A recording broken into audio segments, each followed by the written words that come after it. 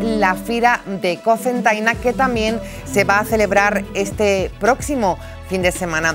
Queremos pulsar cómo fue y cómo va a ser. Está con nosotros Eugenia Miguel, que es la concejala de Fira de Tochel Sans de Cocentaina. Concejala Eugenia, buenas tardes. Hola, muy buenas tardes. Y gracias por estar con nosotros. Bueno, quizás la primera pregunta, satisfacción plena, éxito rotundo en el primer fin de semana de la Fira de Cocentaina de, de este año. Yo creo que habían muchísimas ganas, ¿no? Sí, la verdad es que sí, la valoración del primer fin de semana ha sido espectacular, muchísimos visitantes, 360.000 Así es que fenomenal. Las ventas en comercio, hostelería, en expositores ha ido bastante bien, estaban contentos y la gente con muchas ganas de volver a la feria. Bueno, pues nos alegra este dato. La gran novedad, como les venimos contando desde Siete Televalencia, fue la decisión que tomaron de hacer la FIRA este año en dos fines de semana consecutivos, por primera vez, ¿no? sí necesitábamos este plan B por motivos de la crisis sanitaria. Eh, necesitábamos ampliar espacio para permitir a los expositores que año tras año han estado viniendo y participando en la, en la fila, necesitábamos que, estábamos, que, estaran, que estuvieran todos. Y la única opción que había para poderlo conseguir con esa ampliación del espacio era pues alargando el tiempo, teniendo ahí dos fines de semana con distintos sectores cada uno de los fines de semana. ¿Cuáles son los datos que manejan las expectativas? ¿Creen que se repetirá la afluencia de público de cara a los próximos días? Gente que a lo mejor no pudo ir el fin de semana anterior, que lo han escuchado, que no sabían y que ahora volverán.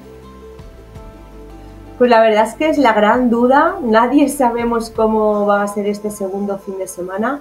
Esperemos que como el primero, ¿no? Pero bueno, nunca se sabe hasta que, hasta que no llegue y lunes seguro que tendremos todas esas cifras y todas las valoraciones ya finales. Bueno, pues supongo que será todo un éxito sin duda alguna. Explíquenos un poco la fila de Cosentaina, las novedades, bueno, las hemos conocido también en el reportaje que estuvo, allí estuvo Siete Televalencia, pero recordemos eh, también la parte más lúdica de la fila que la tiene, atracciones de feria, oferta gastronómica que no puede faltar y sobre todo exposiciones para garantizar eh, esta parte lúdica también del certamen, ¿no, Eugenia? Sí, el gran éxito de, la fila de Top Chance es que combina toda esa parte comercial con la parte lúdica y además para toda la familia, porque podemos desde tomarnos un refresco, unos bocadillos, comida típica, eh, llevar a los más peques a las atracciones y pasear y ver todo el producto expuesto que, que tenemos. Completamente este fin de semana tenemos el formato de, automoción, el formato de maquinaria agrícola y también todo el sector alimentario. Y como complemento, como comentaba, pues todo el tema de espectáculos, de atracciones para los peques, las zonas de alimentación, así es que seguro que va a ser otro gran éxito. Una fira, la de Cosentaina, la más antigua de la comunidad valenciana. Nos gusta siempre resaltar este dato. Sí, además la única feria de España que ha sido declarada de interés turístico internacional. ¿Qué tiene la FIRA para conseguir esta declaración? Costó, pero valía la pena solicitarla, se consiguió porque lo merecía. Yo creo que el éxito es eh, haber sabido adaptarse a todos los cambios.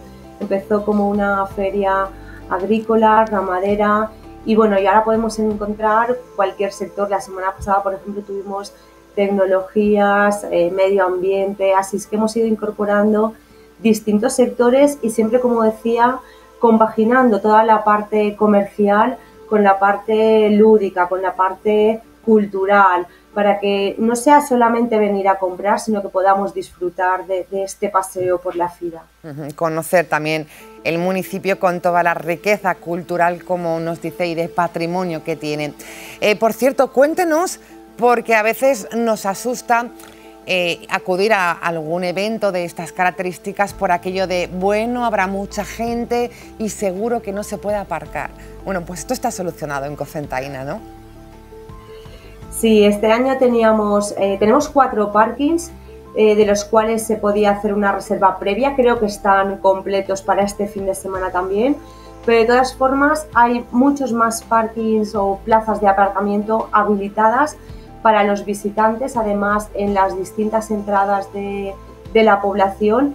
Incluso tenemos dos que quedan un poco más alejados de la población y en los cuales hay un bus lanzadera, es decir, podemos dejar el coche en las afueras y este autobús que tiene un servicio continuo nos acerca al núcleo urbano. Así es que caminar dentro de, Fira, pero para acceder aquí lo tenemos muy sencillo.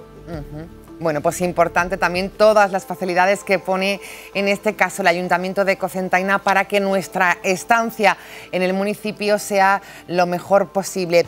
Le voy a pedir un llamamiento desde Cocentaina para los valencianos como novedad para los que no pudimos ir o para los que fuimos y queremos repetir, ¿cómo nos animaría para conocer y visitar de nuevo este fin de semana la fila de Tossel Sans?